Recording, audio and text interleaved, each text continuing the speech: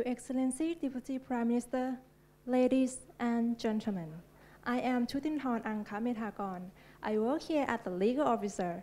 On behalf of the Electronic Transaction Development Agency, or ETDA, I would like to welcome you all to the roundtable on digital economy for our future. Today, we have the honor from Your Excellency, Deputy Prime Minister, to be a keynote speaker.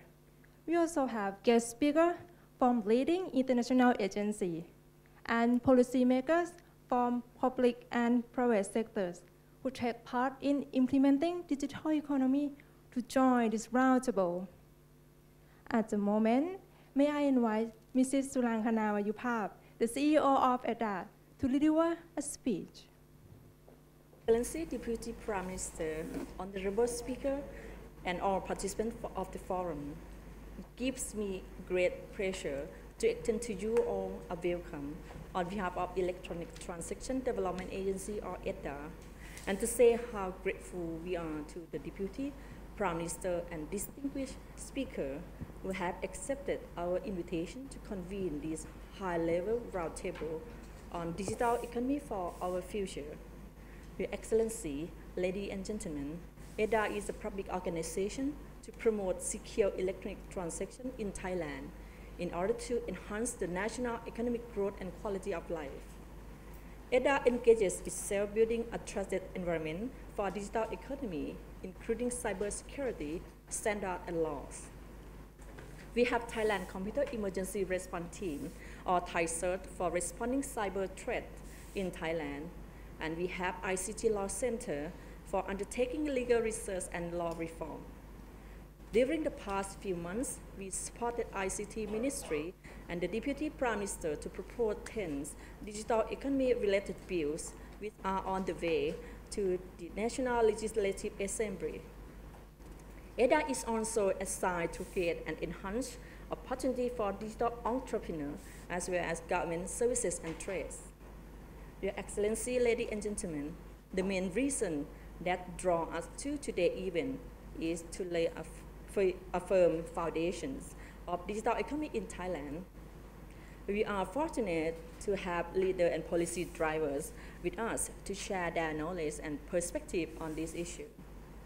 I would like to thank Excellency Deputy Prime Minister for your presence and contribution as a keynote speaker. I would like to also show my appreciation to Honorable Speaker from overseas. Thank you, Ms. Andrea Millwood Hargrave, Director General of the International Institute of Communication, or IIC. Jeremy Olivier, Head of Multimedia of the Office of Communication or Ofcom, Ann Lavin from Google Asia Pacific, and Nerida O'Loughlin, Deputy Secretary of the Australian Department of Communication.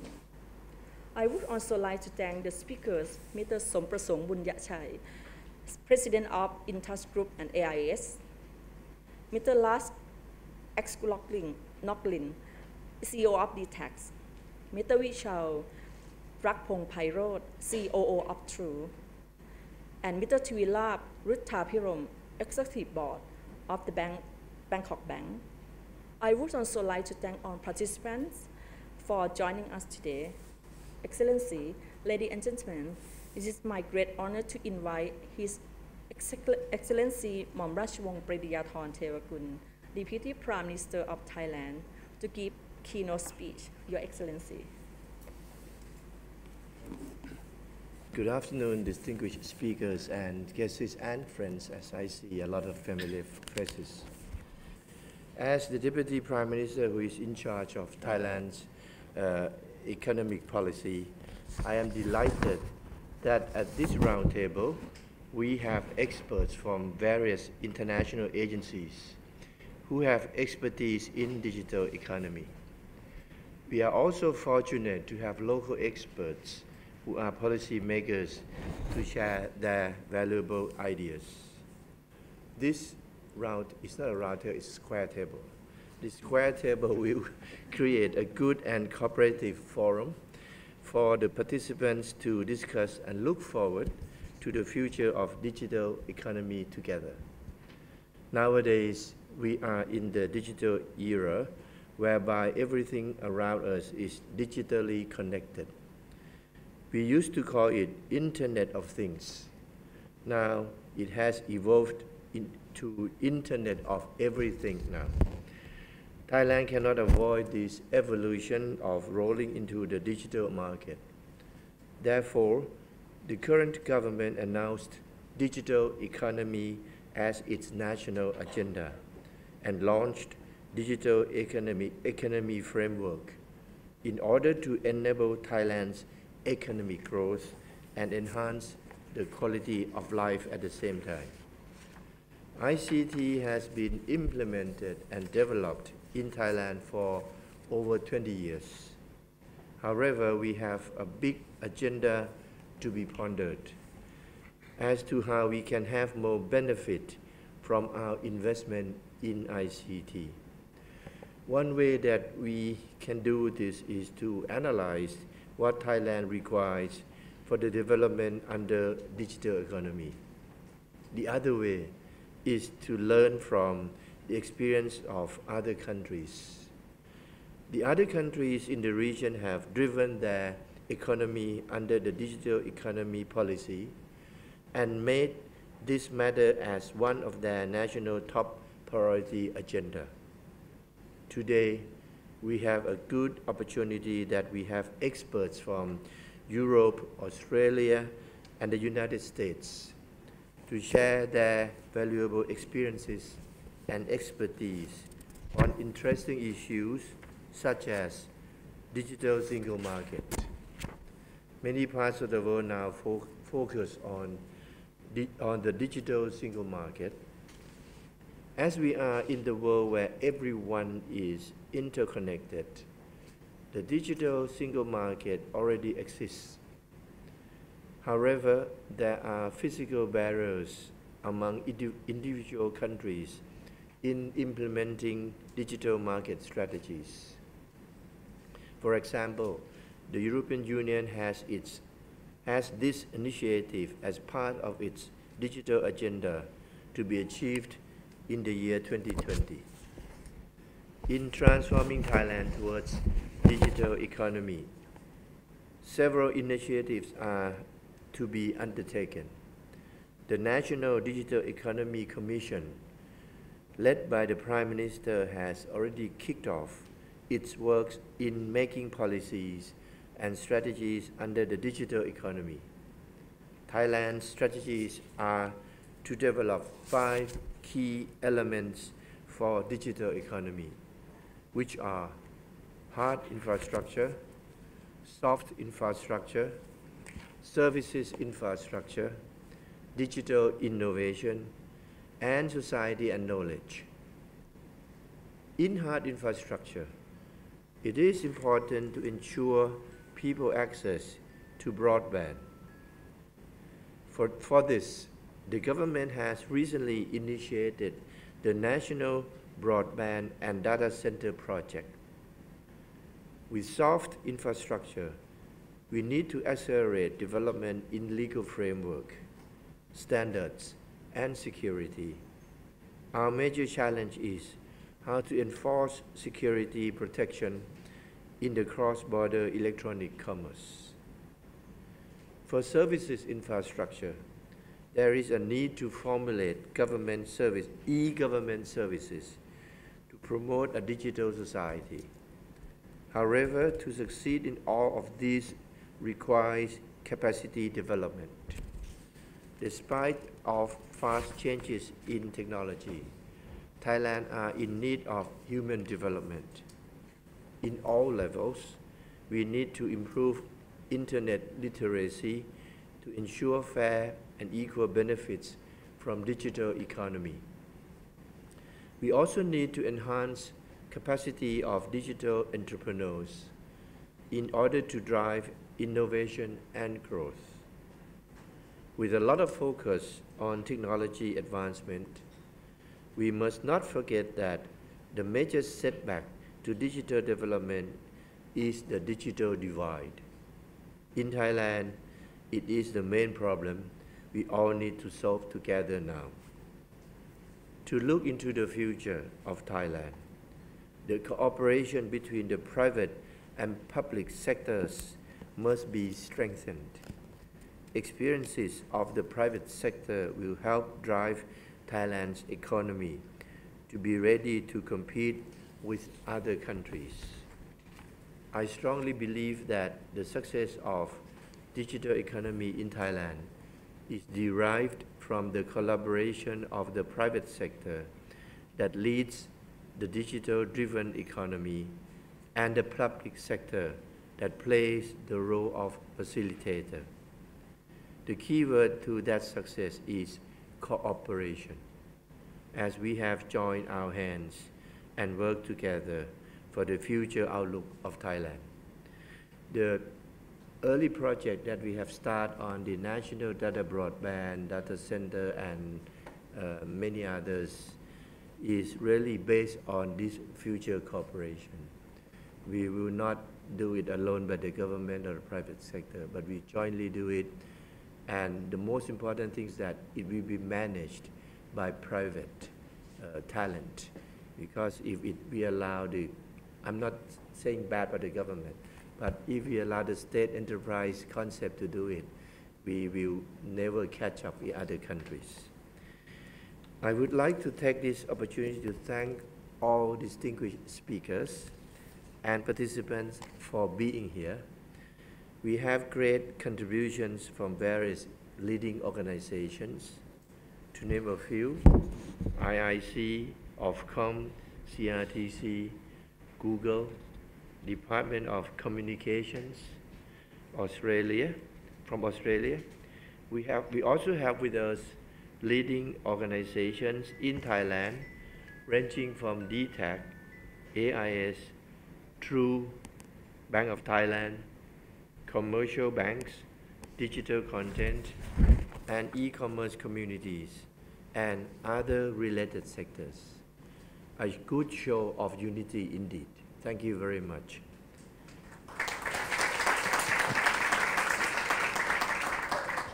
I would just add a little bit, the event today is the start of the meaningful dialogues under the leadership of ETDA by the godmother named Surangkhana.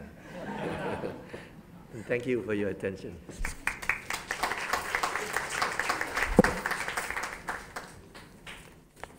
I would like to thank you, Your Excellency Deputy Prime Minister. Next session will be a discussion to exchange views and experience of guest speakers. May I give the floor to Professor Sutham Yunaitham and Ms. Andrea Millwood Hargrave.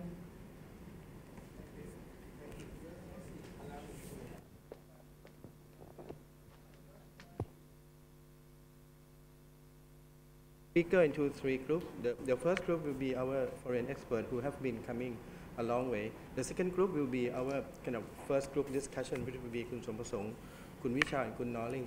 And then the dialogue will rolling on. So uh, let me not to delay your time. Um, allow me to introduce Miss Andrea Millwood Hargrave, the one who make this all happen. Um, she like to give a small presentation. By the way, uh, we have the, the presentation over there. We also broadcast YouTube live, and also we have Twitter. All the key issue will be published, and we will receive comment from public as well. So this is the, the first thing we do in Thailand. This is, this is close, a close meeting, but it is public also. But issue, I think we say she will talk about that later. We try to apply the Chatham House rules, the, the rules for meeting. So Andrea, please. Thank you very much. Um, Your ex, thank you. Your Excellency, colleagues, we're in the Think Big meeting room, which is rather exciting. Um, I think the rule that um, uh, Ajahn was talking about is the Chatham House rule, which means that you can report what was being said, but you don't attribute that. And it is something that the IIC uses a lot because we find, and I hope you'll all participate very fully, we find that it allows people to say things that they would feel uncomfortable saying when they belong to a particular organization, but they have their own, own views, or maybe their organization's views, but don't necessarily want it attributed. Um, just very quickly about the IIC, we've been going for an awfully long time. Um, as one of my colleagues here keeps saying, I'm very young about himself. I'm very young. I wasn't there at its founding. Um, but in fact, the IIC has been converged since the early 1970s uh, when it brought in telecommunications having been a broadcasting originated sector. And that's because it believed in the power of mass communications and it realized telecommunications was mass. Um, we run a series of events. We have an annual conference. We're about to have our 46th annual conference. We have closed meetings of regulators. Um, and this year we're in Washington, D.C., being hosted by the FCC. And we have a series of smaller meetings, and we've just had a bespoke meeting uh, in Bangkok, which has been hosted by the NBTC, looking at ASEAN broadcasting regulation, um, so across the region. And we also produce a journal.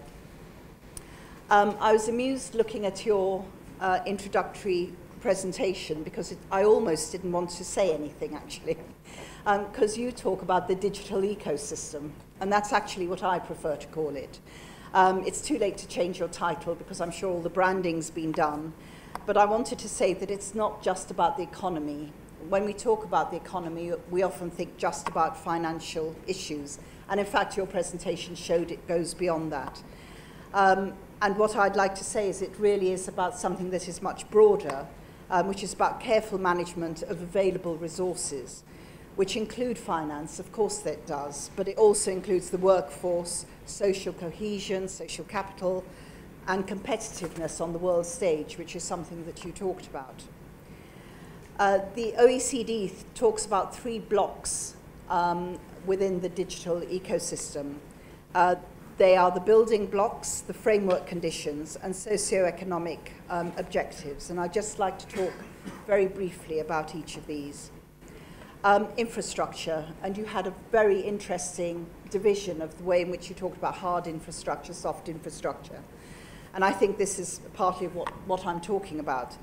You do need to have spectrum policies um, that allow the efficient use of spectrum, not just spectrum policies that are out there with redundant spectrum or spectrum that's not being used.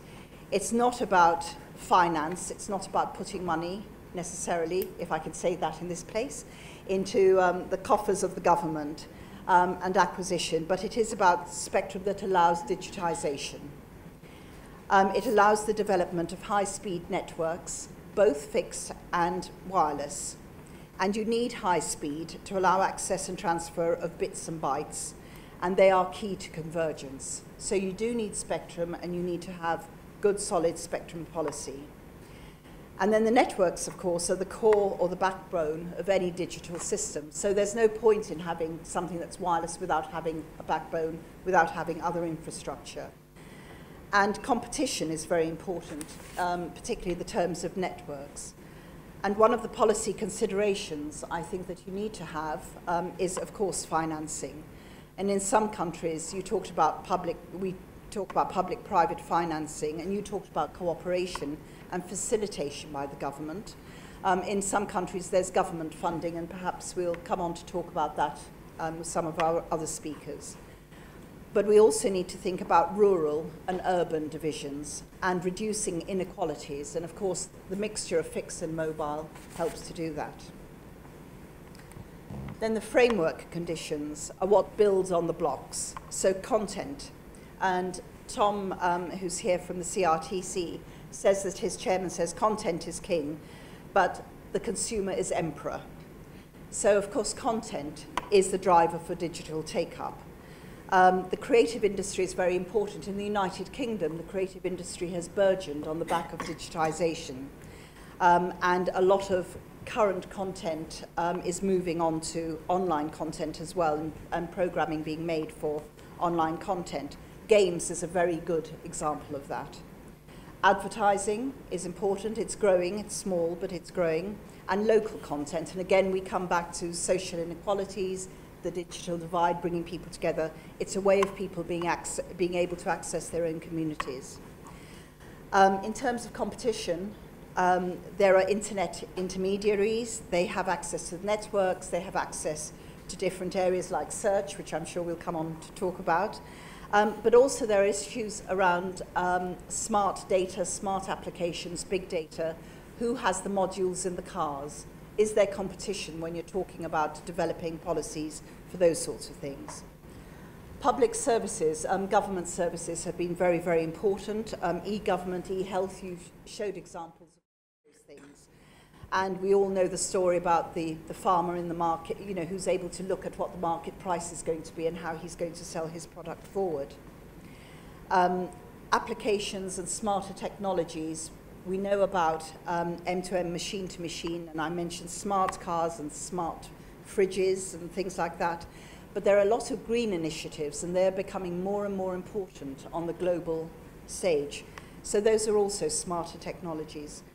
And I talked about interna international stature here, international access, and I've put down here rather crudely to eyeballs, but it's actually raising your profile um, as a country and actually having your place on a world stage which I think is very important, um, particularly in a region like this, in fact. Um, and then there are, of course, the socio-economic objectives. Um, there is the financial objective. Um, you know, you, many of you here have businesses that you want to run. You have countries that you want to put forward and put onto the world stage. But you also want to increase your diversified workforce to be able to have jobs for them, skills for them, um, you will have an increasingly educated society within a digital um, ecosystem because you don't have to have those divides about different types of access to education. Increasing ability to interconnect and I'd argue reducing uh, inequalities. But there are challenges. Um, certainly in the West, post-Snowden, cybersecurity is a very big issue. There is national security as an issue. Hacking is um, costing a lot of money to many governments and many companies, of course. Um, and there needs to be the balance between a free and open internet and national concerns and national protections. Um, there is an issue about privacy. Um, my data, it's being monetized. Who's getting the money from it, what is the trade-off, and what are the benefits. And certainly we've done work which has shown that people are quite happy to give quite a lot of information out for having something that is free in return, such as Facebook. Is there enough awareness? And I'll come on to that. Um, and then there are issues around digital identity management, which is very important for government, particularly, and, and people, governments that hold your, your data. Consumer protection, um, we talked earlier upstairs about spam. Um, the consumer protection in terms of business to consumer and industry is of increasing importance. Uh, and in China, we find that business to consumer industry, the B2C industry as it's called, is growing at 80% over a large number of years, year on year. and citizen empowerment, um, because I actually think of the internet as a very good thing. So though I talk about challenges, it's actually a very good thing and you need to educate and you need to empower your citizens to use it. Um, so it is easy to use. You need to make sure that people can feel safe, that they can trust what they do. And you talked about e-commerce, so it's building safe online and mobile payment systems. It's reducing concerns, putting in me place measures for identity theft and concerns about that, and allowing people to make better choices. And then finally, investment, not just the fact that you're being asked possibly to pay for it, but actually the whole issue around cross-border um, issues. So the internet is global, it's truly global, it does cross borders. And Jeremy will come, who I'll introduce you to in a moment, will talk about the digital single market. In Europe, we have a real problem. I can order something in Belgium, but I can't easily have it delivered. I think Belgium's probably a bad example because of Amazon. I can order something in Germany, but I can't easily have it develop, um, delivered to me in UK without paying extra taxes. So there does need to be some sort of cross-border um, uh, agreement, and you have it with APAC or you have it with the AEC, and you need to work that through. And I'm, I'm not sure Europe's got it right. So I think maybe the fact that there are issues to be raised is what you should be looking at, the issues. Um, I've talked already about the trust. Um, what I think is quite interesting um, is the way that the system is being developed. Um, in Europe, there are a number of industry government forums. Um, there is something called the Strategic Policy Forum on Digital Entrepreneurship, and that has a number of areas that working groups that look at different areas. I think that is also very interesting. There is mentoring, actual industry coming together with people to build skills, to build capacity, to help them understand what they, they need to do. And it might be placements, it can be all sorts of different things. And of course, there's awareness building. And I talked about trust and, and um, increasing skills. That requires money. So you do need to be able to reach people and tell them what the digital ecosystem can bring to them and why it's important. Um, today, Tom, I'm quoting you again, um, called Broadband Technologies, the brush that paints the digital landscape. And I thought that was absolutely right. That says it for me. It's actually about broadband technology, and then it's what you build on top of it. Um, the digital economy sits at about 8% of GDP in the G20 um, countries. So it is very important. Um, I'd like to thank you very much. Um, as I say, I represent the IIC, and what I'd like to do now is go straight on to um, introduce you to my colleagues. Um, Jeremy Olivier from Ofcom, I think will speak first, and then Ann Lavin from Google, who is based in Singapore. Uh, McLaughlin, who is from Australia, from the Department of Communications, and Tom says he won't speak, but I'm sure we'll be able to persuade him to at some stage, and he represents Canada. And please, um, I'm sure my colleagues will join me in saying, please do ask questions um, as we go through. We're very happy to, to answer any questions, or indeed to challenge us, because I'm, I'm sure we're happy for that to happen too. Thank you very much indeed. Thank you. Um, Digital Single Market Initiative is a set of 16 uh, kind of policy initiatives just set out by the European Commission, whose purpose is really to drive forward the digital single market within Europe. And that means two things. Firstly, it means digital individual economies, and critically, uh, it also means cross-border, uh, enabling a greater degree of cross-border activity, making Europe, making Europe uh, as I said, into a digital single market. To some extent, uh, the themes of the digital single market, I think, are directly relevant also to individual nation states thinking about how to create digital economies. And I'll mention the, the, those of the digital single market themes which I think are most relevant uh, briefly for that purpose.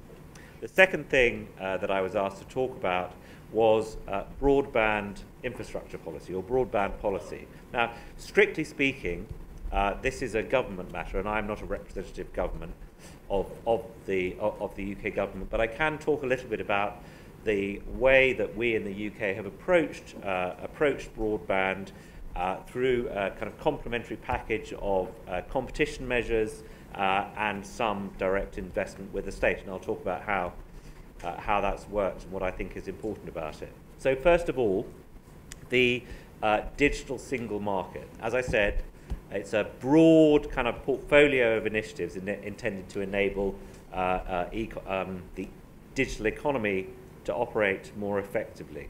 Among the ones I think are perhaps most important and relevant, I would cite first of all the uh, overall review of uh, legislation and regulations that cover both the telecommunications sector, in Europe it's known as the Electronic Communications Framework, and the, uh, the media sector, the review of the Audiovisual Media Services Directive. Now, in both cases, those create a pan-European uh, regulatory environment, uh, one which is intended to foster competition, but also to enable businesses to operate across multiple territories within the reason, within the region in ways which are common, in ways which are clearly understood uh, and do not involve multiple regulatory regimes. There are also, within those two frameworks, protections for individual businesses which want to operate across, uh, across multiple territories.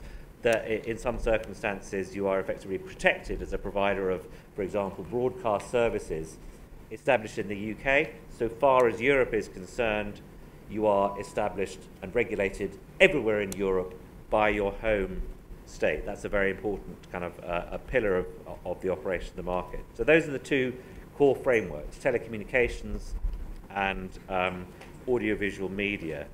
The second really important theme I think I'd like to draw attention to is that of uh, consumer protection. Now, consumer protection is clearly at the heart of effective uh, digital economy. And indeed, I understand from talking to your colleagues that's a big theme of the work of uh, this institution already. I cannot emphasize enough how, how critical it is. The focus of the digital single market in relation to consumer protection is kind of threefold. Some degree of harmonization of the consumer protection framework across the whole, uh, across the whole European market. But interestingly, I think, and also importantly, measures intended to make more effective and easy cross-border transactions uh, so more rules for cross-border trade. And lastly, a new framework to enable cross-border cooperation in enforcement of those consumer protection frameworks. So each of these measures kind of complement one another to create an environment in which consumers are potentially more trusting, more confident as they engage with, uh, with e-commerce providers.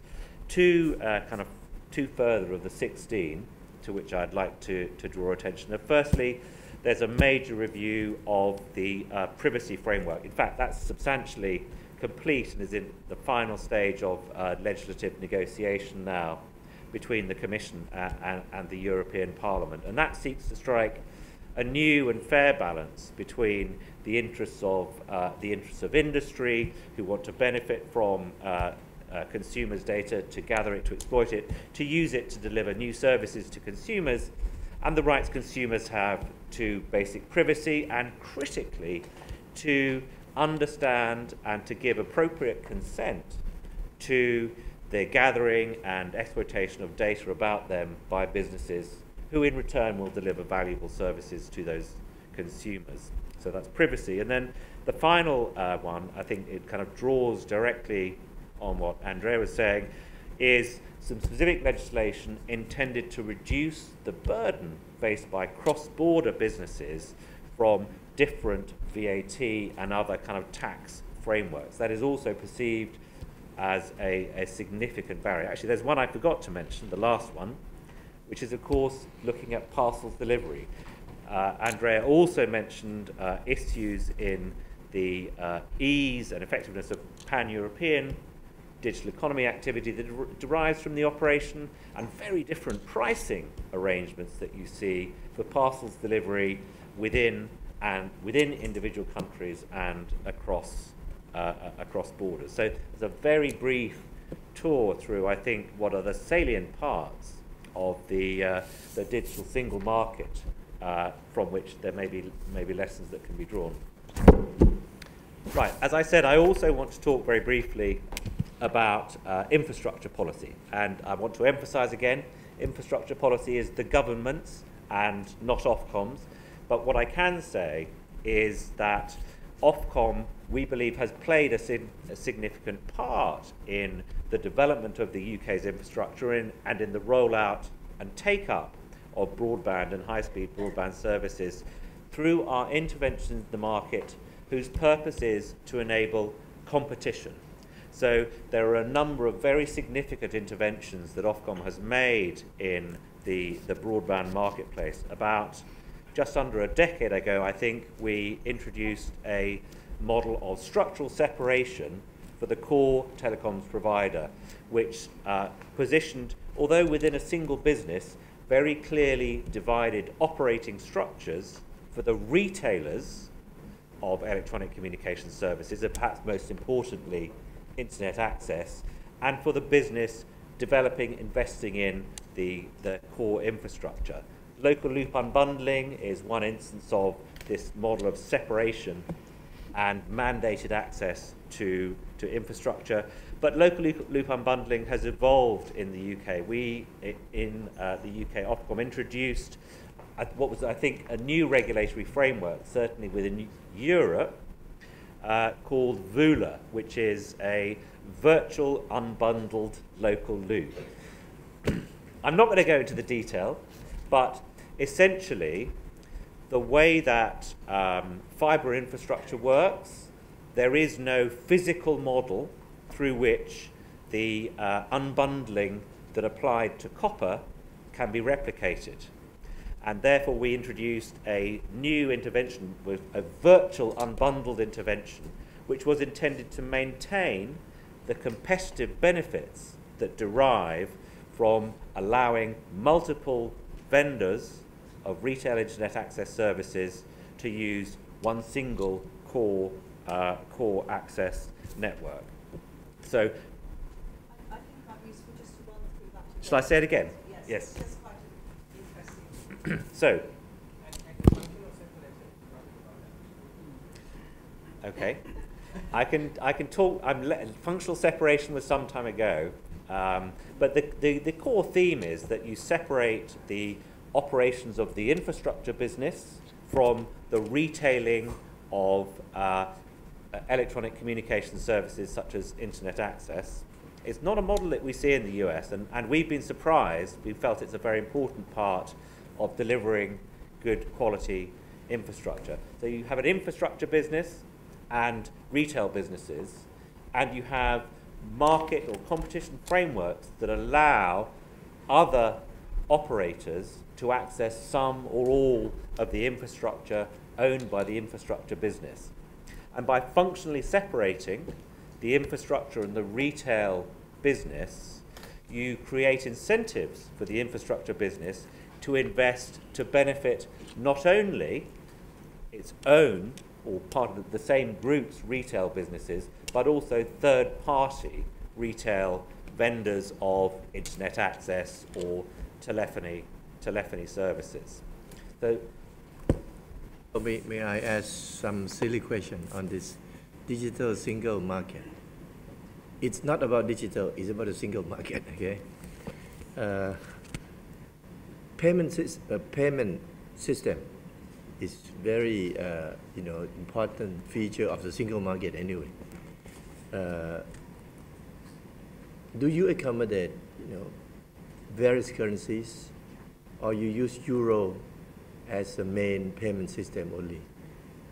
And will Greek be finally be allowed to join this single digital single market?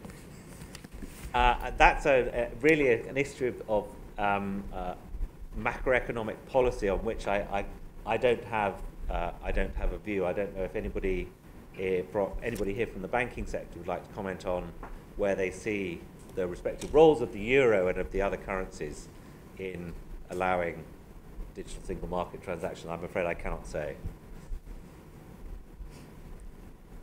I actually have a question. Um, would you mandate access and, oh, I'm sorry, would you mandate access and the terms and conditions of that access? Uh, it so as not to create redundancy by deploying multiple fibers to the premises? Yes, in essence, the answer to your question is yes, there is, uh, there is mandatory access, and the model I was describing. In terms of conditions? Uh, VULA actually sets out uh, uh, the kind of framework, sets the conditions. Um, I'm not, I don't believe that it is price regulated, but I, I don't know off the top of my head. How do you assure that you're incenting the facilities-based incumbent provider to invest in fiber?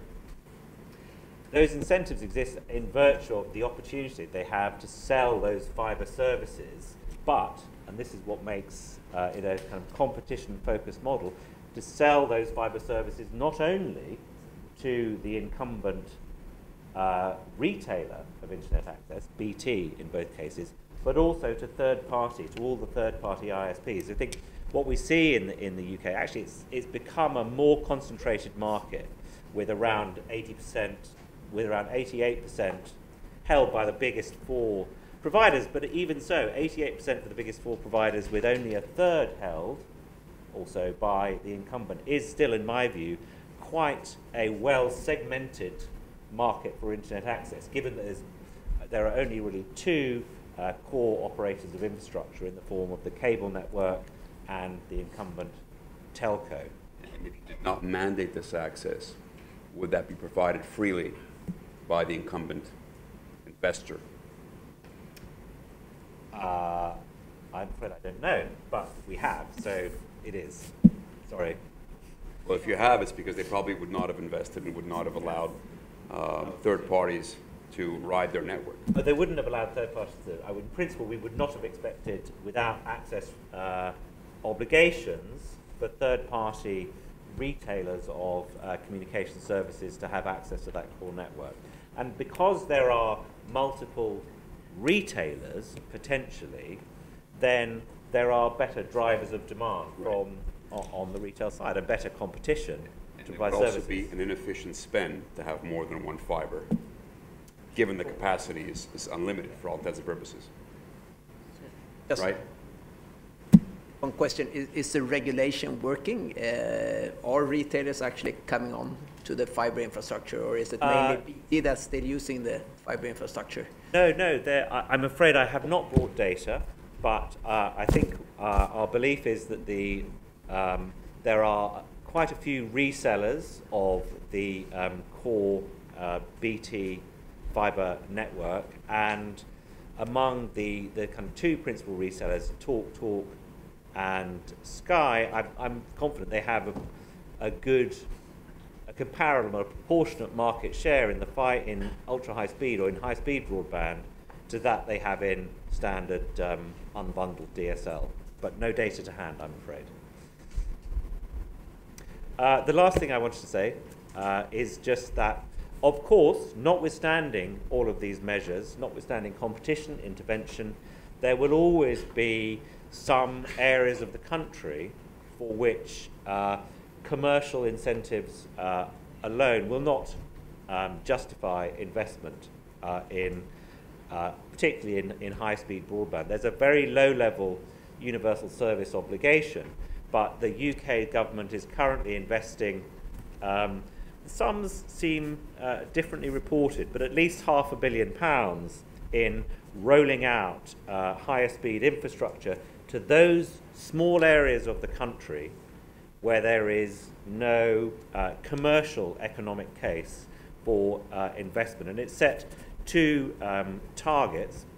One is that uh, uh, 24 megabits a second should be available to 90% of UK homes by uh, 2016, and that that should get to 95% by, uh, by 2017. And that's where government investment filling in the gaps, but with very clearly defined uh, hurdles in terms of demonstrating that the, uh, the investment, that public subsidy is necessary for the infrastructure to be built out to those uh, territories. Uh, and that's all I wanted to say about broadband infrastructure. I hope that's helpful. Thank you very much for this opportunity to come speak. It's a bit daunting. Um, I'm really going to go and cover two areas. Um, one is I just want to briefly bring attention to a very interesting report.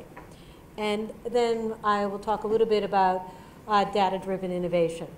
Um, but well, I want to talk about this report, and a consulting firm, TRPC, put together this report. It's, it's an interesting look at developing the digital economy. It's focusing on Japan, Korea, India, Indonesia, and Vietnam. So it gives you a wide variety of development sort of price point. Um, and it has case studies and it draws some broad conclusions and some narrow. And I think it's really interesting. I'm just going to touch on some things about it, but it will be easily found um, by using Google and putting TRPC digital economy. Work out very well for you. Um, so, um, you know, among the things it does is it talks about the building blocks of a digital economy, what the key elements are, know, what sort of measures it. Um, in goes in great detail of how these work in the in the different countries, and then really focusing on the success factors. And I think that here in, in Thailand, over the last uh, six months, there's been a lot of discussion about some of these very same things.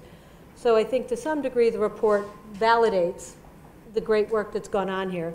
And in some cases it says, oh, maybe we should look a little more here or a little less there. So I think it's, it's quite interesting and useful. And then it finally wraps up with some interesting policy recommendations. Of course, I have, you know, I think it's really useful. I mean, vision, this is what today and so much else that's going on in Thailand is about. Um, and of course, you know, I have a natural bias towards uh, transparency and sort of smart uh, regulation. And the idea that being incredibly careful in regulation, that you're providing the protections that also build the confidence that let the digital ecosystem build, while, but also creating the space for it to adapt.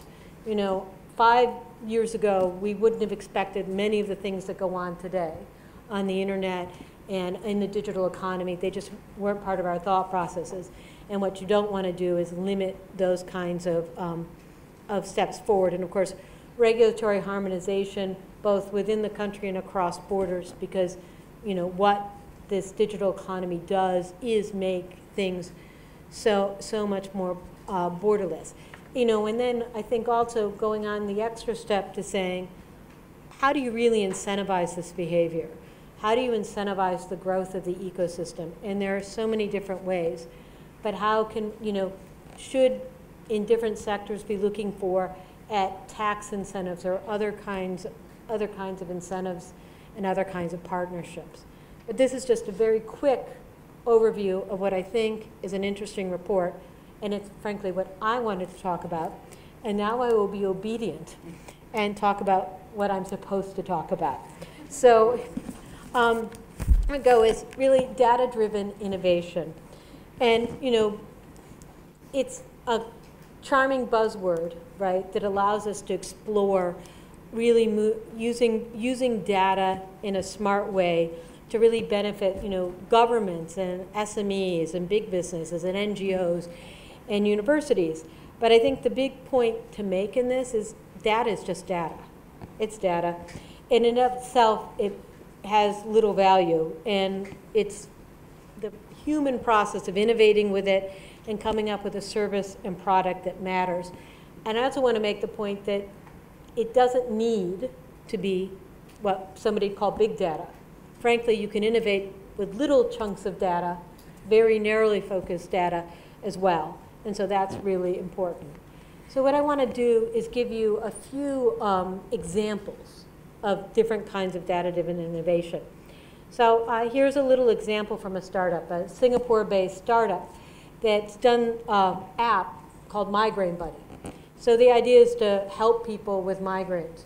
And so on one level, as a user of the app, you would be entering data about your experiences during the day. Um, and then the app on your phone would also be capable of capturing other data, like your amount of physical activity, how many hours you slept. Now, that's giving you data, giving data for your personal use. Um, it may help you adjust new medications, it tell the efficacy. All those things are true. Um, at the same time, it's with the user's permission, obviously, gathering and depersonalizing other data, which allows the app to make some broader conclusions. So a conclusion it made, probably not shocking, is that uh, getting less than seven hours sleep for many, many people helps trigger migraines. So not only is that validated, but it can also say, um, you know, you're edging into the danger zone for your upcoming migraine because you're not sleeping. But it's providing this whole range of information that's serving a broader purpose on what affects broadly, but for people personally. Um, then, you know, this is a little more, uh, a, much, a very Google example on sort of the big picture. Um, you know, uh, when our Android phones, we have something called Now cards. This evolved when our engineers working on maps said, you know, given what we may know with your permission about where you are, what might you want to know? Odds are, if I want weather information, I want it where I am, Bangkok. Now, yesterday I came from Singapore here. Yesterday, my Now cards showed me weather in Bangkok, because it knew where I was going, and in Singapore. Uh, it also, because it knows where I'm going, and it has access to traffic information, sent me a little ping yesterday afternoon saying, it's time for you to go to the airport now because the, tra the traffic is like this on, on the CTE and it's raining. So you're going to leave a little bit earlier. And those are useful things to me. Um, and they, you know, hopefully useful to other people too. Then I want to say that, you know, governments and city councils, and there's obviously thousands of ways we can think about this, but I want to talk about a case in New York City because it was a combination of information really quickly. They have a big problem with drains um, and systems being blocked with grease that, you know, restaurants dump. And how do you catch those guys? Because the poor, limited number of, you know, government servants who are trying to catch people is very small, the problem's very big what they did is they laid over restaurants on a map. Then, because in New York, this kind of uh, oil waste can only be collected by licensed collectors, they laid over the contract information, and then they laid over the blockage information. And by doing that, they could say, oh, that neighborhood over there, that's the problem, that's, and they could push their, um, they could push their focus there. Now, you know, 63% of the blocks of drains in New York City are caused by these uh, cooking oil leakages. Um, as a result of doing this, they are now catching 95% of the people who are legally dumping. And um, that has a chilling effect on illegal dumpers. So it's, it's been a you know, useful thing. Laying, but it's you know, a creative use of looking in the geospatial. Then, you know, farmers. So I'm going to use a New Zealand example.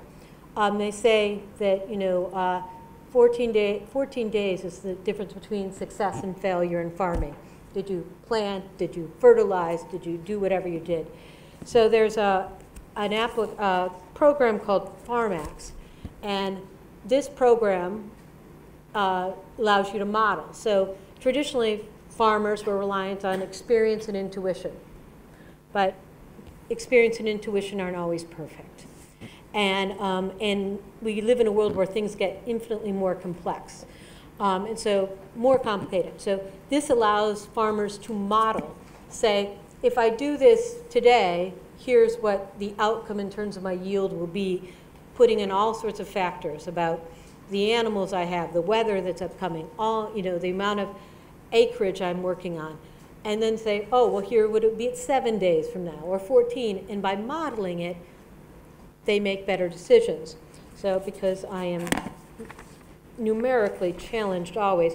So what they said is that the average per hectare gross margin for sheep and beef farms using this FarmAx is 70% higher than non-users. So that's a really giant margin.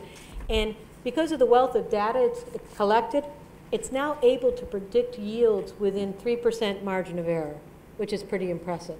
But it allows much, much clearer and better outcomes. Um, but what this is all about is, right, there's a growing volume of data. And, you know, when I, in talking about, right, now we've just talked about machine, in my examples, machine-generated data about sleep and movement, personally generated data in migraine, but, uh, you know, broader general data that's been collected, and then um, from outside sources and users in the FarmAx all these different kinds of data. But the fact is, there's just a massive amount of data out there. But data is like light, right? It's a resource that if I stand in the light and take advantage of it, I'm not taking your light from you. And so it's, it's a con, it's, it's, it fuels innovation, it fuels parts of the economy, but my use of data doesn't necessarily deny someone else's use. But the fact is that there's so much data out there, these different kinds of data. But the fact is there's just a massive amount of data out there. But data is like light, right? It's a resource that if I stand in the light and take advantage of it, I'm not taking your light from you. And so it's, it's a con, it's, it's, it fuels innovation, it fuels parts of the economy, but my use of data doesn't necessarily deny someone else's use. But the fact is that there's so much data out there. And so, um, and we need to focus on the innovation part of it. You know, um, so until the year 2000, the total amount of data in the world was 12 exabytes. And I can only imagine the mass, how massive an exabyte is, you know, beyond comprehension. But the fact is that today, the world creates two exabytes of data every day. So it's just the, the growth is there, but it's what, it's what we do with it, right? So, um, you know, as we say, raw data is like sand is to silicon chips. I mean, in and of itself, it's nothing. So it's, it's how to use it wisely. And that's the key. And that requires a lot of things. It requires training people to learn how to use it wisely, it learns experimenting with using it wisely, and we have to do it smartly. So I'll give a couple quick examples. Google Translate. So, you know, while Translate really works is you have sort of largely identical data in two different languages, and you can compare them. And over time, you have more and more of this data, and you compare more of it. And then the machine learns how to make, you know, further conclusions and better. And so Translate gets, the truth is, Translate gets better with every, but every use of it. Now, and so it's, frankly, in, in many languages, and in Europe in particular, it works uh, stunningly well. In fact, right, we, we've, Google's partnered with the European Patent Office to translate patents into 28 European languages, as well as Chinese and Russian and Japanese and Korean. And so that works really well. But the truth is that not all languages have that great corpus of comparative content. And unfortunately, Thai doesn't have the comparative corpus that we wish it would. And plus, let's just say Thai is really hard to translate. And so to begin with. Um, so you have machine learning, which is really important, and that's really data-driven innovation. But then you have to do it, find ways to do it in scale and solve. One of the things we have done in Thailand and actually across many countries in Southeast Asia, is uh, do something called Love Your Language. It's basically an app. We recruit people and train them on it. It lets people put in key phrases, and fortunately, much more the kind of phrases normal people use in normal life in the proper translations, and then has a whole network of other people who are volunteering and you know love of language to validate them. And it's the group validation that makes it work. And I think it's particularly important. We need to create more great Thai content for Thailand, but we also want to make sure that Thais have access to the content that exists in other languages. But I think very, very important is this translate tool going the other direction because we want people in the rest of the world to actually be able to look at great Thai created content and make it understandable to them in their languages. And then finally, my last little bit, I promise. Um, about the, the real Internet of Things. You know, the Internet of Things, you know, just thing, things being connected to the Internet. That's great. I mean, you know, I am delighted if my phone can turn my lights on and off. It makes my life a little bit easier. I like it if it can turn my TV on and off. Terrific. But to me, that's cool, but it's not excitingly innovative and um, convenient to me, but is it a big benefit? So I want to talk just a second about Nest. Now, this is a company that Google bought in the last year. Um, one of the things it does is build smart thermostats. So you say, that's great, right? Easy to program, it learns about when my things are when I want my house hot or cold. Great. But in many places, it's doing much more. So in many localities, local utilities actually pay people to put Nest in their home. And they create a partnership where the utilities, you know, has a lot of sunk costs being able to provide power at peak times. And it's very costly, it's very inefficient for them. But by partnering with consumers and using Nest, they can, using all sorts of information to cool at a better time of the day for the, for the load on the system, to you know, do all these things in this way, which results in increased energy efficiency, saves money for consumers, and saves money for the big utility, which is able to pass it on to consumers. And so that's sort of in real innovative approach to using the tech to do that. So, um, the, you know, the point to make, as I think has been made and almost everyone said today, is that, you know, everything about this, uh, the digital ecosystem, the digital economy, is about borderless nature. And that's really true with anything around data-driven innovation, allowing the data to move.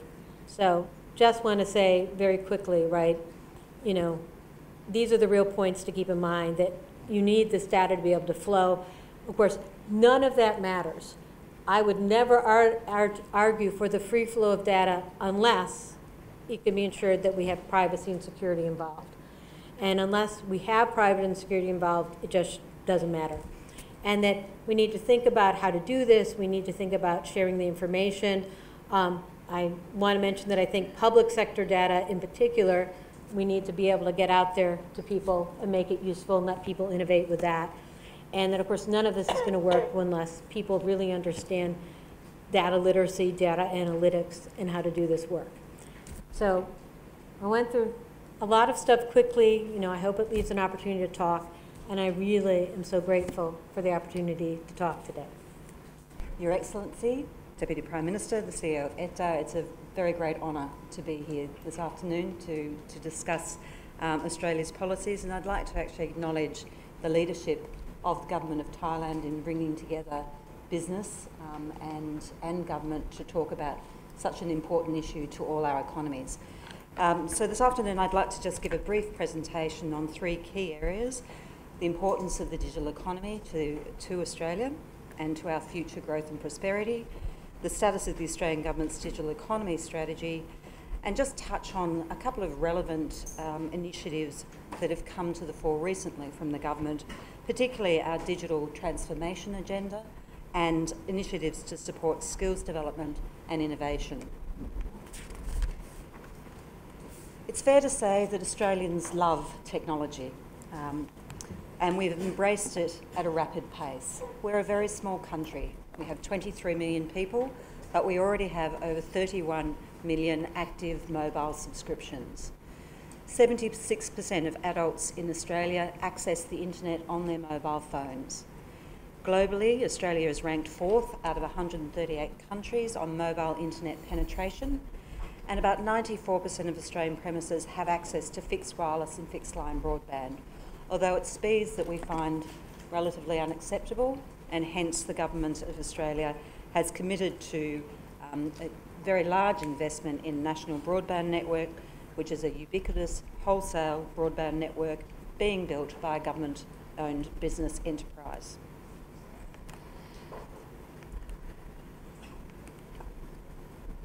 What has happened with the rapid technological innovation evident in Australia it has resulted in huge structural shifts across the economy and away from what are our traditional strengths in Australia and our traditional industries.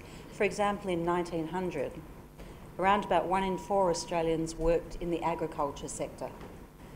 In May this year, agriculture accounted for slightly more than 2% of total jobs in the economy. As late as 1970, we had about manufacturing accounted for about 28% of the workforce. It now accounts for just over 7% of jobs. So there are risks here. A risk that the significant work, uh, workforce transition is, is not well handed, handled, but is demanded by technological innovation. Some of our local researchers in Australia estimate that around about 40% of its workforce, or 5 million jobs, are at high risk of being replaced by computers in the next 10 to 15 years. What that doesn't take into account is all the new jobs that will be created by the digital economy, economy.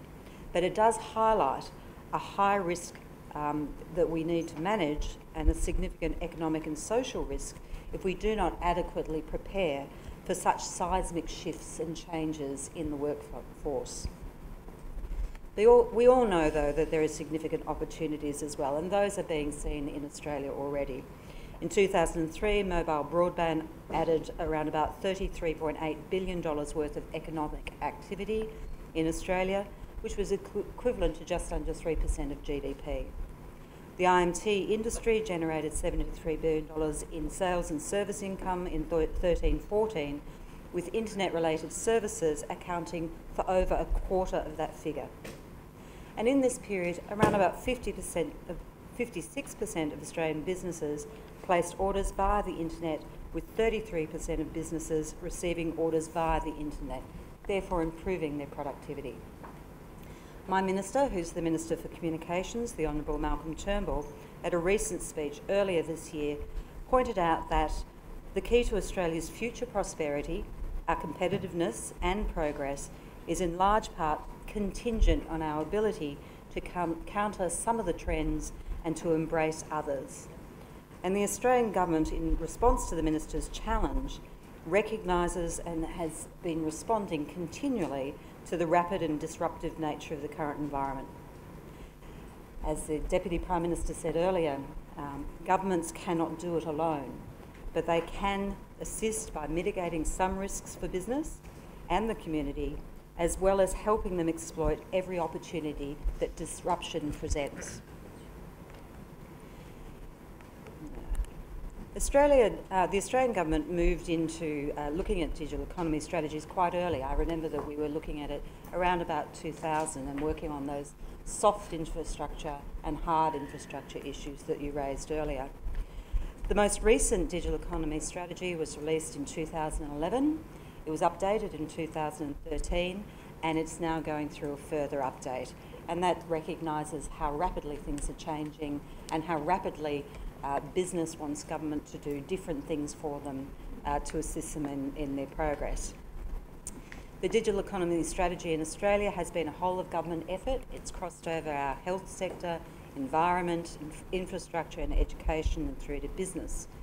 Our department has um, run some specific programs for households, for small business and not-for-profits, but there's also been a number of programs right across government to trial things like um, high-speed broadband applications for telehealth and education. And I'll just mention a couple of those uh, this afternoon. The policy is called Advancing Australia as a Digital Economy. And as I mentioned, um, our, my department's main focus was on improving skills and usage by, uh, by small business in particular and not-for-profits. We ran a program called Digital Enterprises, which was aimed at improving online presence of small business, allowing them and encouraging them to provide new services. We ran another program called Digital Business Kits and a website, which was about general and industry specific resources to get them um, uh, fully engaged in the digital economy. We also ran programs for local communities. We ran a Digital Hubs program which had over 85,000 training sessions right across the country. These, these um, uh, policies were, uh, on one hand, um, very much focused on building uh, productivity and business growth. But I'd have to say they were also for another reason, which was to try and tell the story to the Australian community of what was possible from a national broadband network what was going to be possible in the future to be delivered in communities and to be delivered by businesses of a truly high speed, um, ubiquitous broadband network. Another example, which was run through our health department, which um, was called the NDS Health Pilots.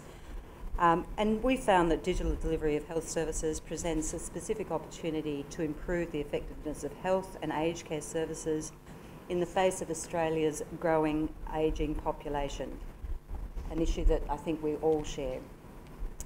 Our stats show that by 2030, the number of Australians aged over 80 years old is expected to rise by 140%, and chronic diseases and conditions will also increase as people live longer.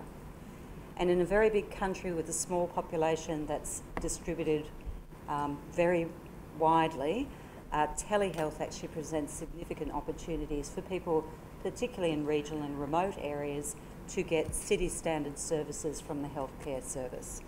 So we managed three trials. There are a diverse range of pilots. Uh, they targeted chronic diseases in older Australians, youth mental health, ophthalmology treatment in remote communities. And we've now received those evaluations for many of the pilots, and we're evaluating those at the moment. The key findings, as you see on the screen, were that people are willing to engage with the technology for their health services. They do have a preference for face to face consultation, but if that's not accessible, they will engage online. There are importantly improved health outcomes from using these sort of telehealth approaches with potential cost savings to the government and to the community. And healthcare providers can be reluctant to embrace the new approach, and that's a real challenge for us to get healthcare providers up to speed. And we need to look at sustainability and integration. But they have done what they were set out to do, was really to test and pilot new ways of doing things using high-speed broadband and testing how the government and industry could also use them. So what next? Apart from updating our uh, digital economy uh, strategy, I just want to talk to you about an announcement in the 2015-16 federal budget in May uh, by the government, what, which was a key priority to be advancing its new digital transformation agenda. And what the agenda does is significantly ramp up the government's focus and leadership on transforming government service delivery. It's introducing digital by default for all government service delivery. The government recognises that more efficient government services, along with less regulation, can stimulate business growth and reduce transactional and other costs for households. There have been many good e-government projects in Australia to date, uh, but some of them have been disconnected and the learnings from each of the projects have been disparate. So what the agenda is trying to do is to bring that all together so we can learn from each other, we can share platforms with each other, and we can really push forward in transforming government. Um, the government's agenda to overcome this is, um, includes providing very strong leadership at the highest level. The Prime Minister of Australia will chair a cabinet level committee on the agenda with Minister for Communications, the Honourable Malcolm Turnbull, as Deputy Chair. So it's been given very high uh, level leadership across government. For stage one, uh, there was a commitment for 254.7 million Australian dollars over four years uh, for stage one, which I think translates from my notes to about 6.5 trillion Thai baht. I hope that's correct.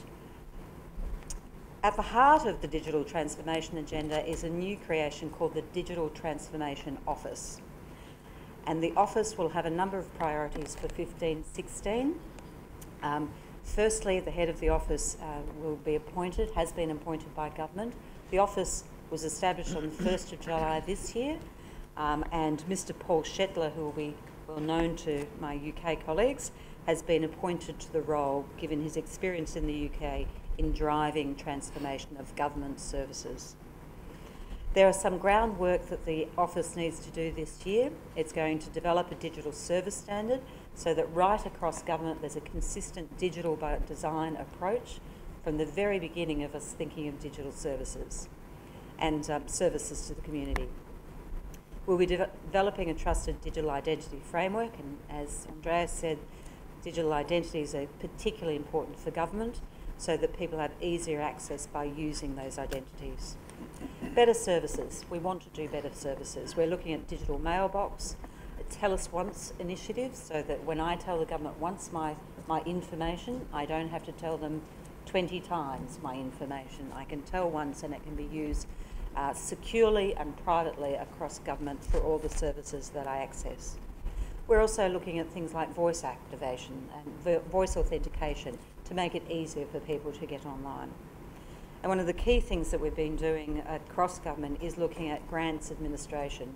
We all, in Australia, there are a broad range of government departments who provide grants to businesses, local communities, NGOs, not-for-profits, um, and we do those in quite disparate ways, and we want to get some greater efficiency out of that by streamlining and simplifying grants to start off with across 12 major agencies. It's an ambitious agenda for government, really trying to transform government services, but we think that's something that government can do and provide leadership in its own delivery of services that can also be a model for the private sector as well.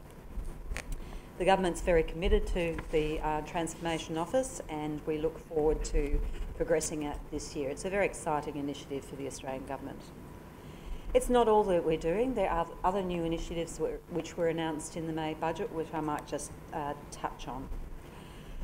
The government has recognised that the skills of the future need to be built now and at the earliest stages of education. So it's therefore committed in the most recent budget to new initiatives at the primary and the secondary school level to increase educational focus on science, technology, engineering and mathematics.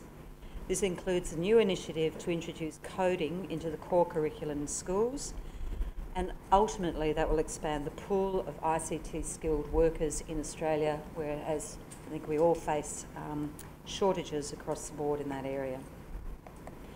The government's also listened very carefully to Australian entrepreneurs and has introduced a range of initiatives that support them drive innovation in the economy. These include more attractive arrangements for enterprise share schemes, a new framework for crowdsourced funding, and changes to tax law to stimulate the flow of venture capital. And finally, I'd just like to touch on, and picking up uh, some of the uh, comments from my colleague Ann, I'd like to touch briefly on some of the recent work we've been doing to encourage the release of government data. In government, like every other sector of the economy, mass connectivity is enabling human and machine generated data to amass in ever increasing amounts. In government, from economic statistics to geocoded address information to weather maps to data about real people consuming government services such as family tax benefits and childcare assistance to the energy efficiency of buildings and appliances Governments hold huge amounts of data. What we can't do, though, is build in the innovation of knowing what to do with that data. So what government wants to, to do is release that data to the private sector in a secure, anonymised way, in a way that's um, appropriate for the people who've provided that data to government, and say to industry, what can you make of this? And I think Ann's comments about what industry has done with with data sets is a really good example of that. Australia has made great progress. Earlier this year, we have released uh, around about 6,000 data sets available on data.gov.au. And my department, in partnership with a number of other uh, departments, have also built what we call the National Map, which visually represents geospatial data across land, water, infrastructure, broadband access, and a number of other data sets. In concluding um, my remarks today, I'd just like to again acknowledge the Government of Thailand for the invitation to discuss the Australian digital economy experience with you. I think we have much to learn from each other, and as we seek to reap the benefits of the digital economy for our future growth and prosperity in our own countries, in our region, and across the world. Thank you very much.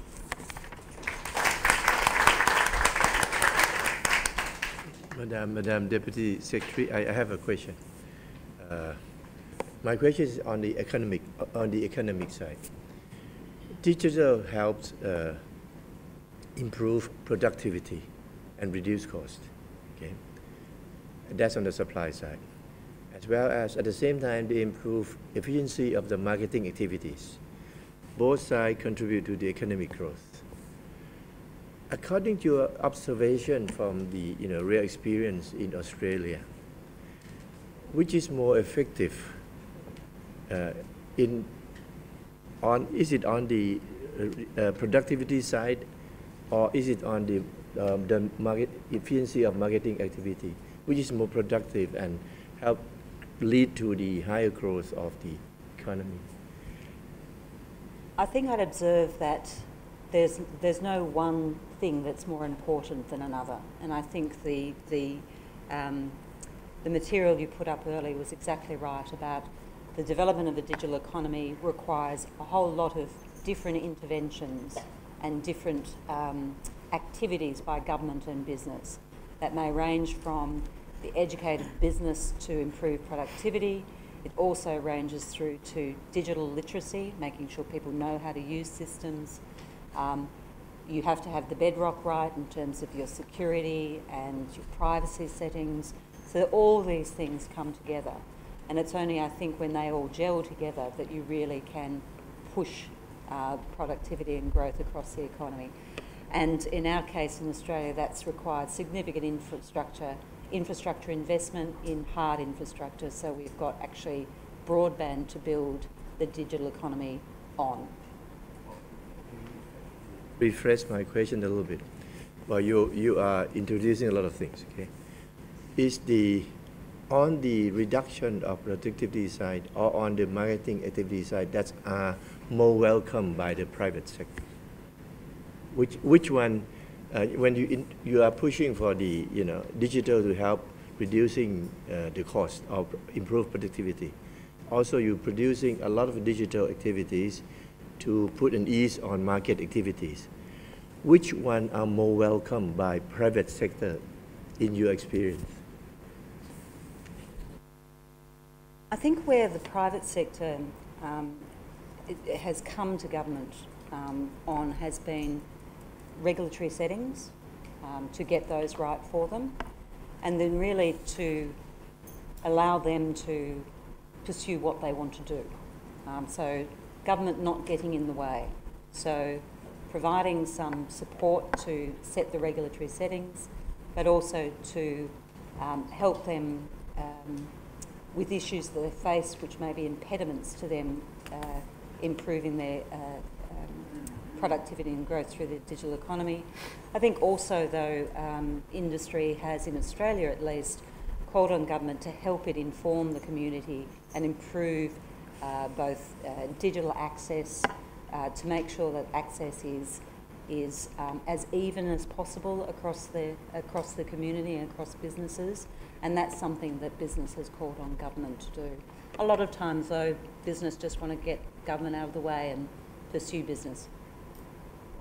The reason I ask is because, as I observe in China, uh, when you introduce digital things, they are more effective on the marketing activity side, more than on the productivity side. I just want to learn from your That's experience. That's very true. And I think one of the challenges we have in Australia is small businesses, small and medium enterprises. Yeah, that's, that's maybe helpful. Where they, they have taken that step to develop a website, but they haven't gone so far as to be purely digital.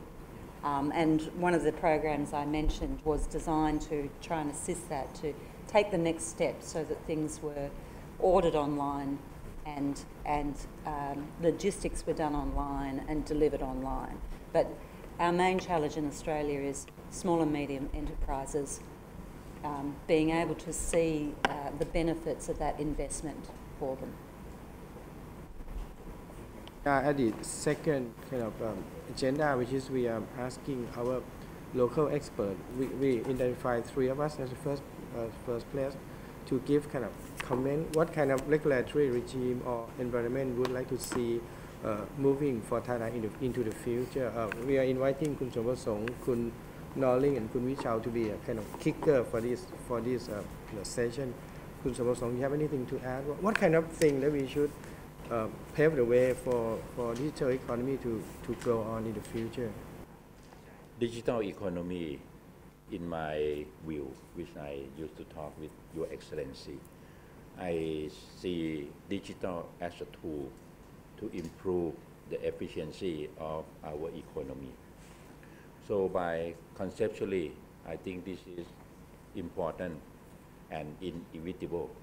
We have to move our country toward digital economy. However, in doing things, we also need to look into the context of our country. It reminds me over 20 years ago when we were discussing about privatization of telecom industry in Thailand. I also attend the UK case in UK and study a lot of the case that happened in the world.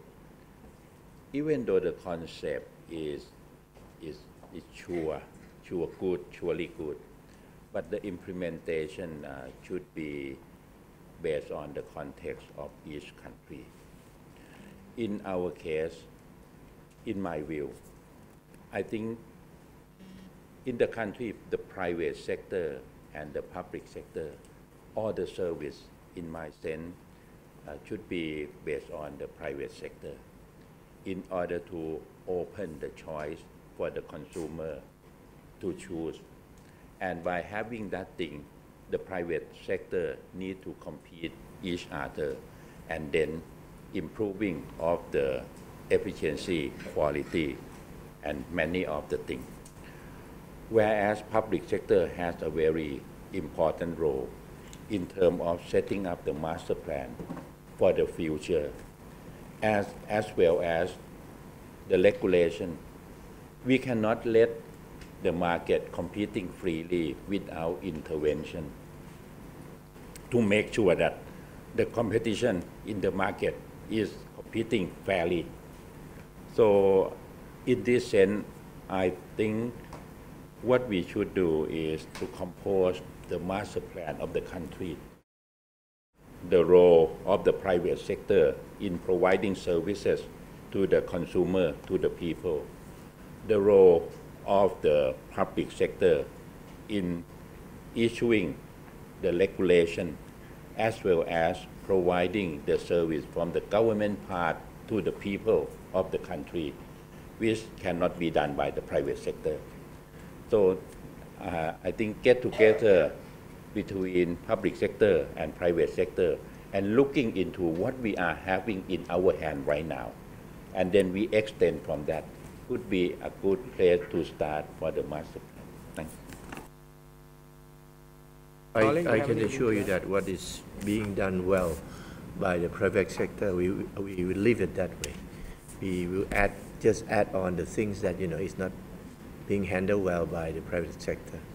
Anyway, in, in our, as you may know our plan, as we're moving, I announced my plan all the way. If you see any defect in my plan, please give me a call, okay? On, allow me to move on to Kun Norling, um, and then Kun Vichal, please, Kun Norling. Uh, Your Excellency, uh, first of all, I would like to say that I think it's very good. It's very important that uh, the Thai government drives a very clear digital economy agenda. I think uh, both uh, DTAC as an operator, but also the other operators uh, really support of that agenda, and we share also a lot of the same ambitions. Uh, our main ambition is to enable all Thai to connect to the internet via the mobile. That's our main ambition. That's what we work with every day. And already 60% of our subscribers are using the internet via the mobile. In three years' time, it's going to be more than 80%. So this development is fast. And um, I have to say, Thai love the internet. It's a huge demand. Uh, in studies we made this, uh, on average, Thai spend three hours a day on the internet, which is quite a lot, and mainly on social media. Line, Instagram, Facebook, YouTube. Um, especially Line, I would say. It's a lot of line going on in Thailand.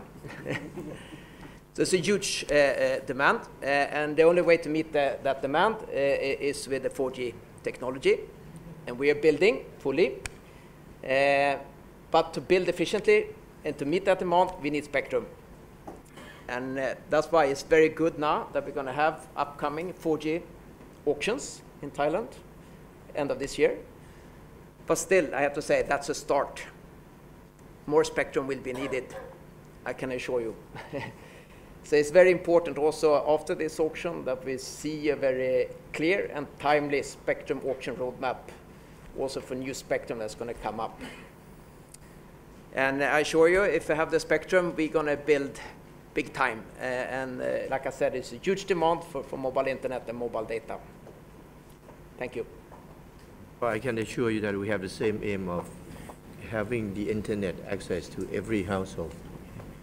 Uh, I have no problem with Bangkok or in big cities, but I still have uh, to think about the remote area where they are very poor and they cannot have the machine. I'm even thinking of the uh, center at the village level where we provide, you know, machine for them so they can have access to this. And this center can be a good center for, for old age people to, In a very remote area, old age people will like to gather in, in, in, in certain place.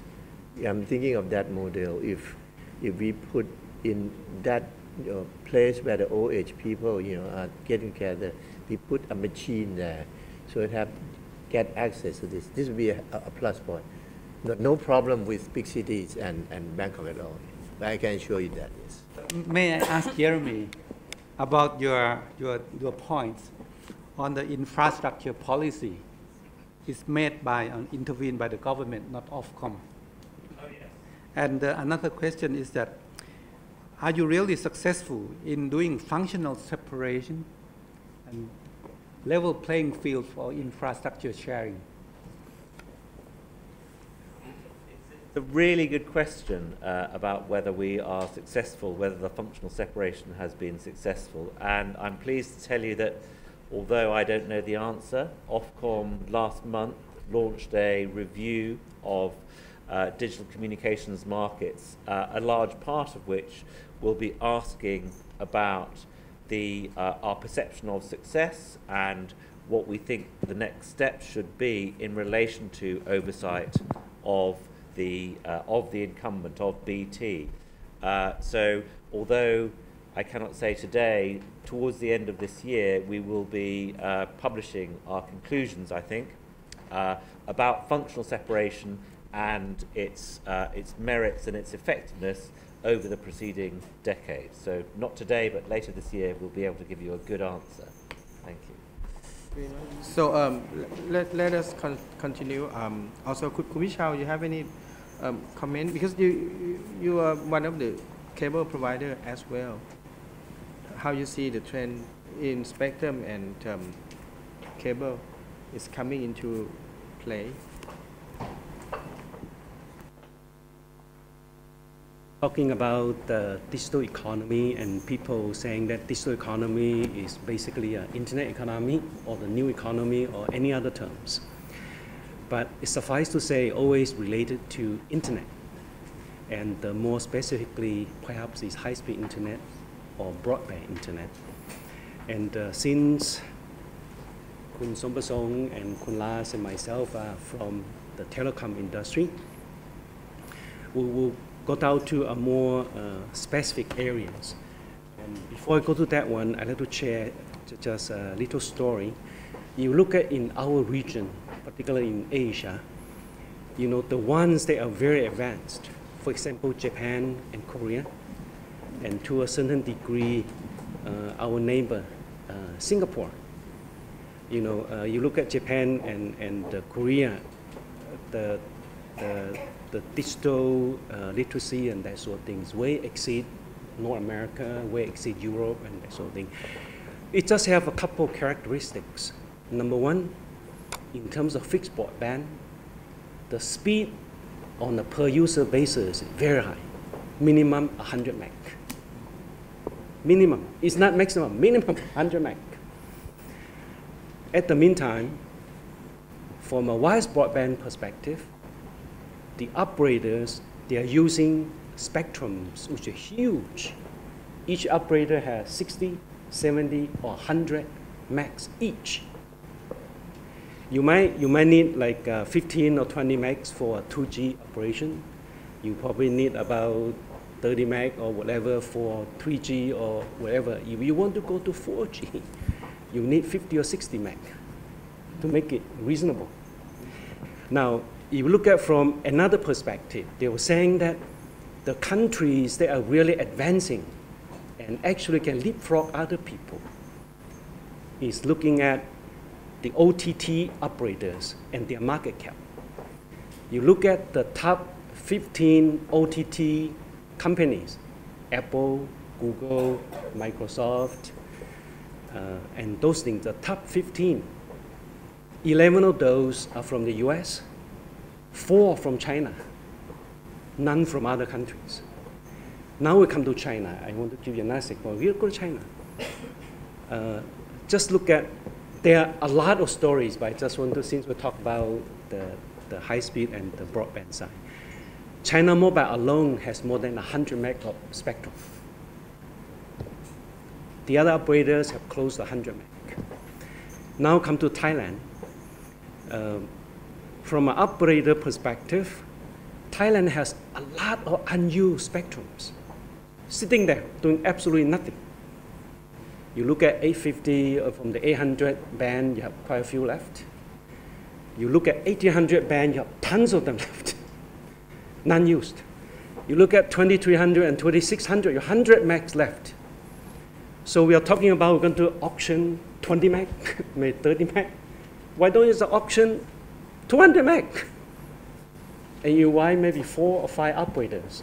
You know, you look at the current landscape for the operators. You have AS definitely showing interest, DTAC definitely showing interest, we show interest, 3BB show interest. We have two other state enterprises, CAT and TOT. You got lots of competition come out with tons of spectrums. We can easily come out with 150 or 200 megs to be auctioned, easily, and do it once, do it right away. I believe this government has the power and has the guts to do it if we need to. Need to. So, since we're running short time, I'll start with that. We have lots of things we can talk about.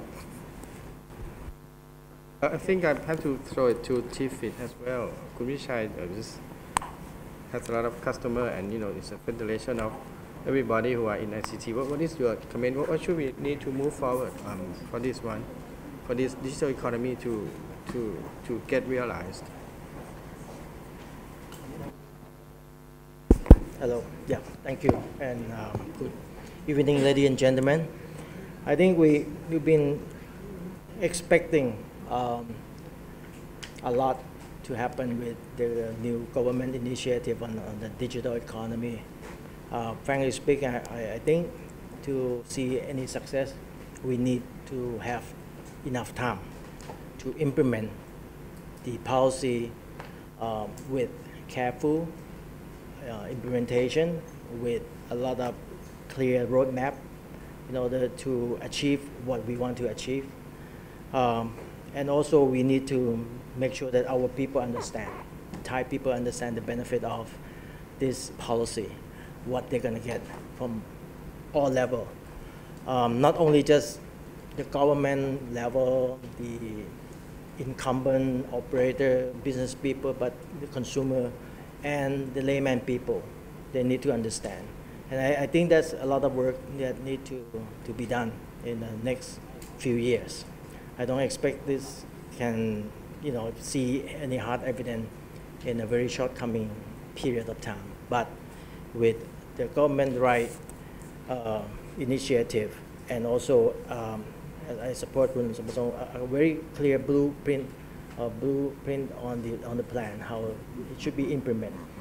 And we also need the continuity of the government support of the, of the program because, you know, in Thai context, again, we see the discontinuity of the, the follow-up on the policy that we initiate. And digital economy is a new name, but the old whiskey in a new bottle. We're talking about national broadband policy. We're talking about uh, creative economy policy. We're talking about a lot of new idea to enhance the, the, using the technology to enhance the, the, the, the, the well-being of the Thai citizen. But we failed to deliver or implement it over the last many, many years. I think this time I fully hope that, well, this government can initiate the policy and implement it within Thailand blueprint for the next 10 years or at least 20 years to make sure that we follow up and we follow through no matter if we change the government to new election or any kind of uh, the transformation. But most also important that we also need to allocate resources we need to implement this policy successfully. Uh, it's the people, the budget in terms of financial support, the spectrum, or the resources, or even the soft infrastructure that uh, His Excellency mentioned, the law in this country. You know, we, we need to ensure that we have the law that support the success of this policy. Because as Professor Stam may understand, we're changing this country law so often, and it lasts very short time, and we keep changing it. It seems like we never change, because the law keep changing, but the context of the law remain the same, because then we, we go back to the, the same loophole that we cannot do this, we cannot do that, we cannot change this, we cannot change that because of the law. Um, I hope that this time around we, we can look at the 30, 360 degree of what must be done in order to deliver the successful digital economy. This is what I like to see. So, thank you. One of the results of the um, this kind of roundtable, um, ETDA will produce the um, um, paper which kind of summarize all, all the position and also you see is it will be evidence in, in the um, internet as well. So this is kind of policy legislation with with, it, with the public. That's first and second it will be kind of we will not we the ETDA will issue the, the consultative paper on digital economy policy. Um, and is there any other comment on the table that, that we, we will be more than welcome? Tom, please. Well, I shouldn't speak, but I will. Uh, and if I get in trouble, I'll have to come back to Thailand and, and beg for work. Uh, but uh, a couple of things that, and I, I, had nothing prepared, but I was just jotting down a couple of thoughts while His Excellency was speaking. I want to say a couple of things. One, in terms of um, regulation and government intervention, um, with all due respect, I, I believe that the regulator or the government per se should only intervene where there's massive market failure. I think the best case scenario is to allow the internet to run free and wild. I think it's clear that GDP and broadband capacity are married. But to ma gain maximum benefit from this broadband capacity and to have that contribute maximally to your GDP, I think you have to embrace the internet. Um, I think there's a fear factor that exists all over the world. And I'll give you a Canadian example.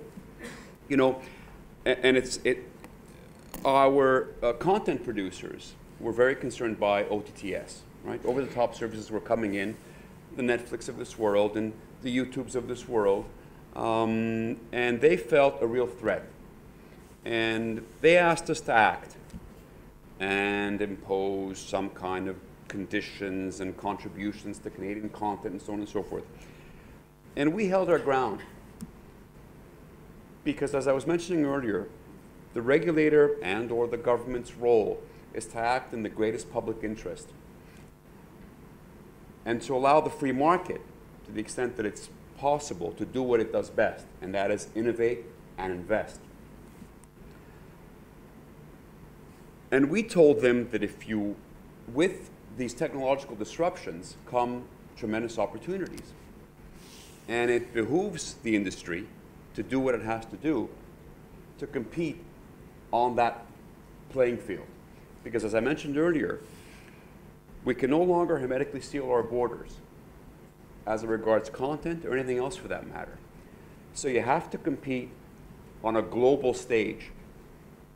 And you have to change your mindset and this is a great room, think big room, from thinking small, and sometimes us Canadians living next to this entertainment powerhouse, which is the US, the sort of superpower of entertainment, you see yourself as a victim.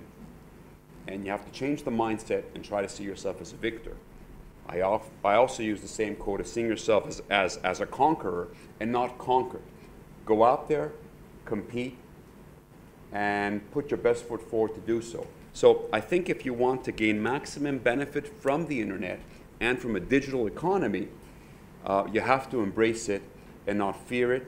And there can't be protectionism or censorship because all you're doing is curtailing or holding back the tremendous potential that the internet offers the entire world.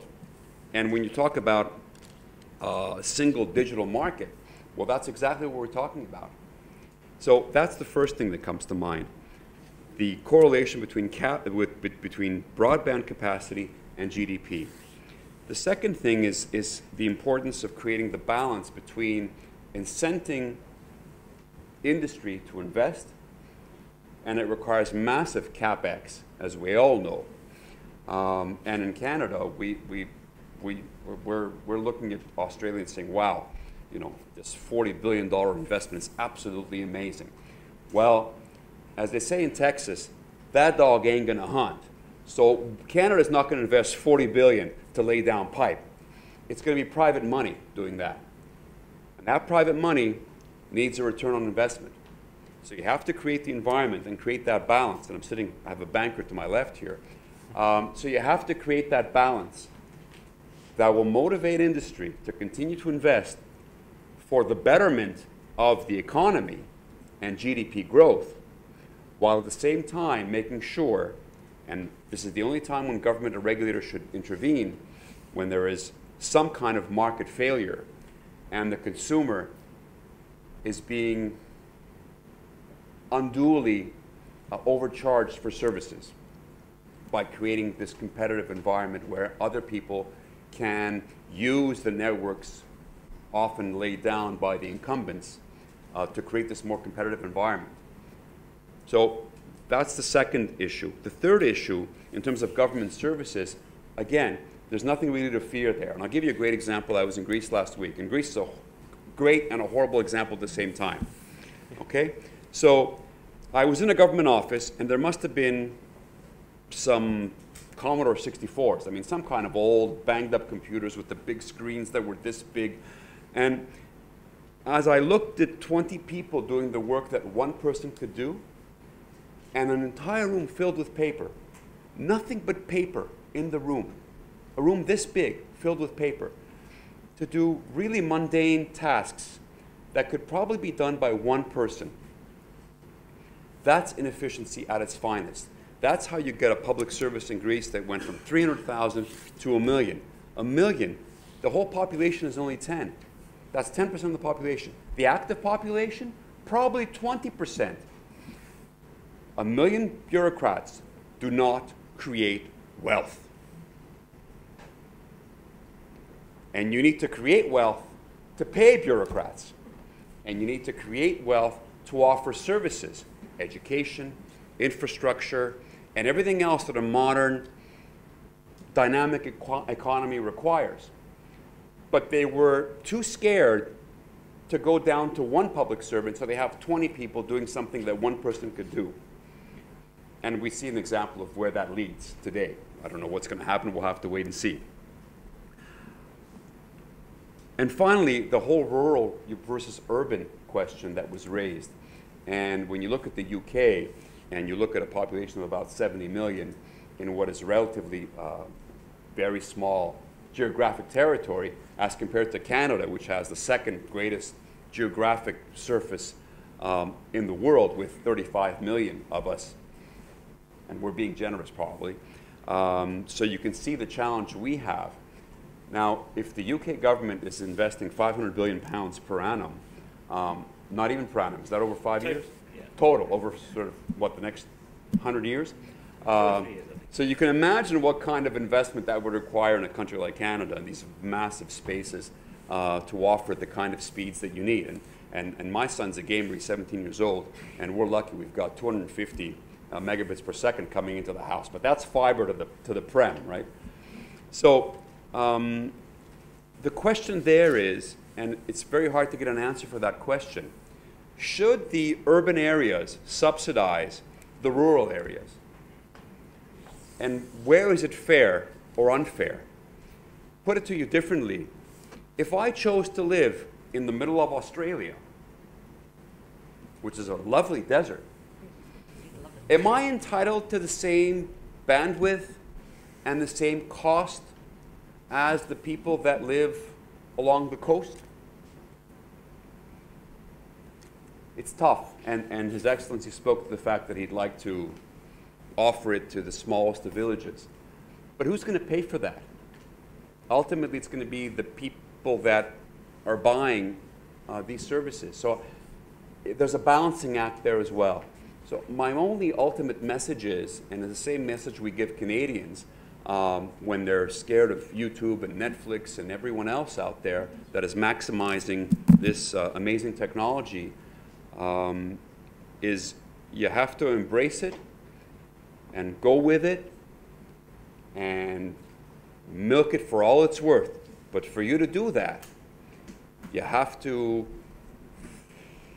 and you have no choice but to let it go and to minimize government intervention. So, for what it's worth, thank you.